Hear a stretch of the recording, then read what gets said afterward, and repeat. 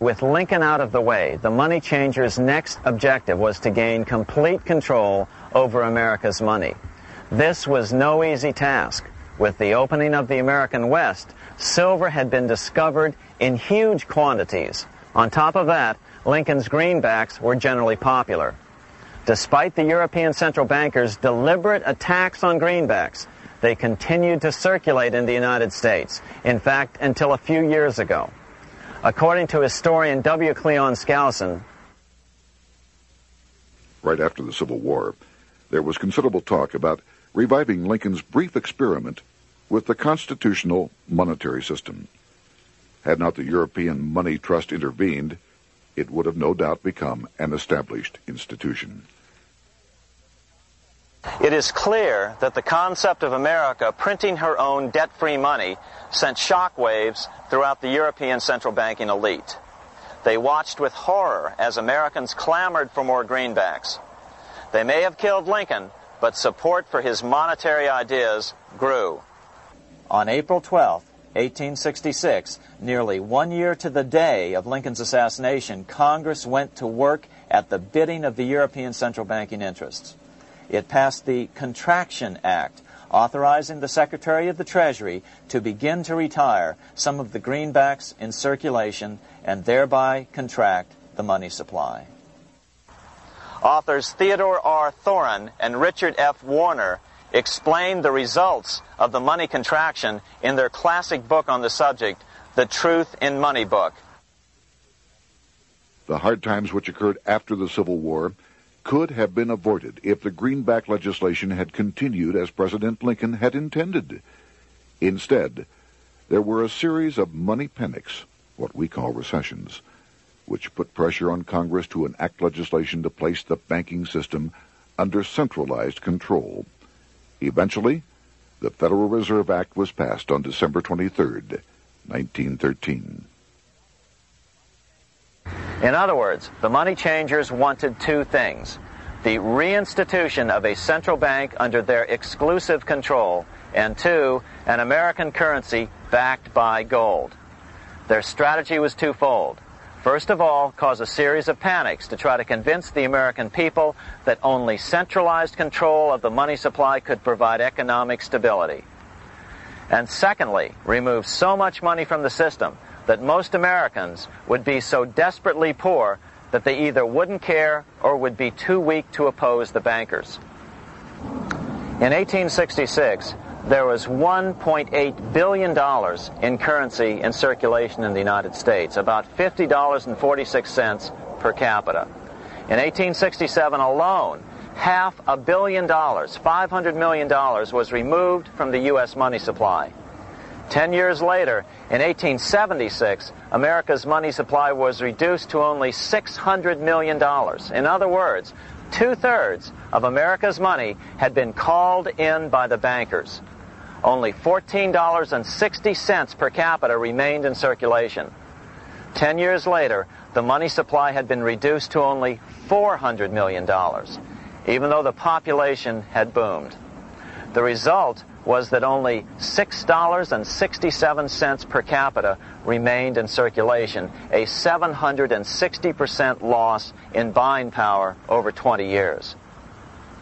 Today, economists try to sell the idea that recessions and depressions are a natural part of something they call the business cycle. The truth is, our money supply is manipulated now just as it was before and after the Civil War. How did this happen? How did money become so scarce? Simple. Bank loans were called in and no new ones were given. In addition, silver coins were melted down.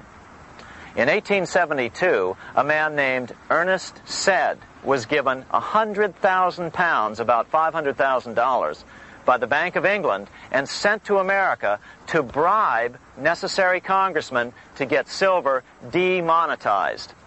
He was told that if that was not sufficient, to draw an additional 100,000 pounds or as much more as was necessary. The next year, Congress passed the Coinage Act of 1873, and the minting of silver dollars abruptly stopped.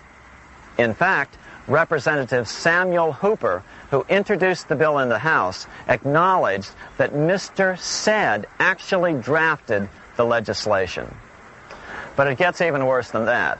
In 1874, Seyd himself admitted who was behind the scheme. I went to America in the winter of 1872-73 authorized to secure, if I could, the passage of a bill demonetizing silver. It was in the interest of those I represented, the governors of the Bank of England, to have it done. By 1873, gold coins were the only form of coin money. But the contest over control of America's money was not yet over.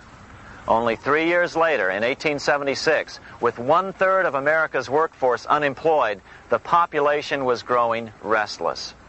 People were clamoring for a return to the greenback money system of President Lincoln or a return to silver money, anything that would make money more plentiful.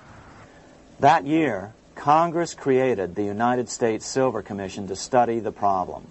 Their report clearly blamed the monetary contraction on the national bankers. The report is interesting because it compares the deliberate money contraction by the national bankers after the Civil War to the fall of the Roman Empire.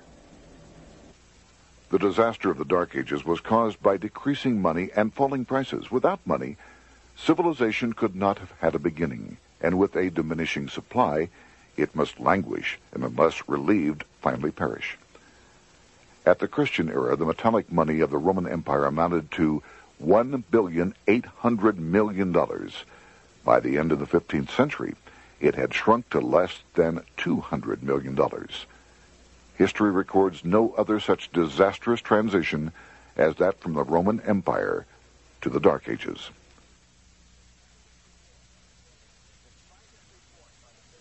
Despite this report by the Silver Commission, Congress took no action. The next year, 1877, riots broke out from Pittsburgh to Chicago. The torches of starving vandals lit up the sky. The bankers huddled to decide what to do. They decided to hang on. Now that they were back in control to a certain extent, they were not about to give it up. At the meeting of the American Bankers Association that year, they urged their membership to do everything in their power to put down the notion of a return to greenbacks. The ABA Secretary, James Buell, authored a letter to the members which blatantly called on the banks to subvert not only Congress, but the press. It is advisable to do all in your power to sustain such prominent daily and weekly newspapers, especially the agricultural and religious press, as will oppose the greenback issue of paper money, and that you will also withhold patronage from all applicants who are not willing to oppose the government issue of money. To repeal the act creating banknotes or to restore to circulation the government issue of money will be to provide the people with money and will therefore seriously affect our individual profits as bankers and lenders. See your congressman at once and engage him to support our interest that we may control legislation. As political pressure mounted in Congress for change, the press tried to turn the American people away from the truth. The New York Tribune put it this way on January 10, 1878.